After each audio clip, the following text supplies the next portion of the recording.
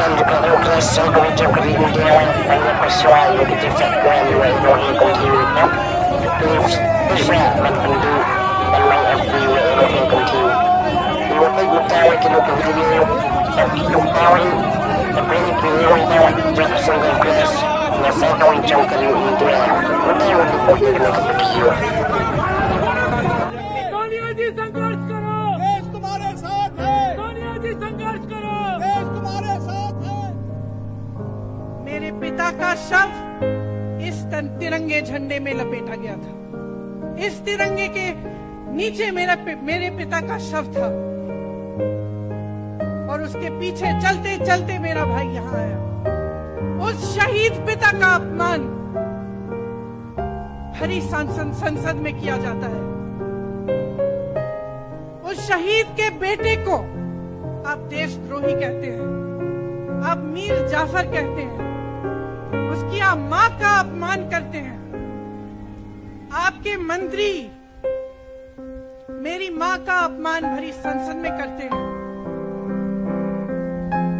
कि उन्होंने राहुल गांधी जी को संसद से निकाल दिया है। देश सुने इस बात को कि नरेंद्र मोदी जी और उनकी सरकार ने साम दाम दंड भेद इस्तेमाल करके राहुल गांधी को संसद से निकाल दिया है। अब देश के ऊपर फैसला है। उन्होंने संसद से निकाला है। देश के लोगों, राहुल गांधी को अपने दिल में रखो, अपने दिल में बिठाओ। निकलो पूरे देश में। करो सत्याग्रह। देखते इस हुकूमत की तानाशाही में कितनी ताकत है? अगर कांग्रेस का एक एक कार्यकर्ता जो अपने घरों पर कहीं बैठा हुआ है, मैं उससे भी आह्वान कर रहा हूँ कि राहुल गांधी से बढ़ करके ये मसला इस देश के लोकतंत्र तक आ गया है।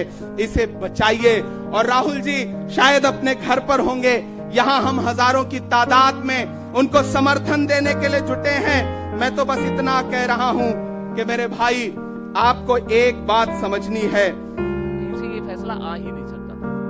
ये जानबूझ के किया गया एक नेता की आवाज़ जो बार बार कह रहा था, ये लोकतंत्र की रक्षा नहीं हो रही है हिंदुस्तान में। लोकतंत्र को सरेआम कत्ल की जा रही है। उस आवाज़ को दबाने का एक नया पसंद है जो किया गया है। लेकिन मैं आपको कहना चाहता हूँ इससे आवाज़ दबेगा नहीं।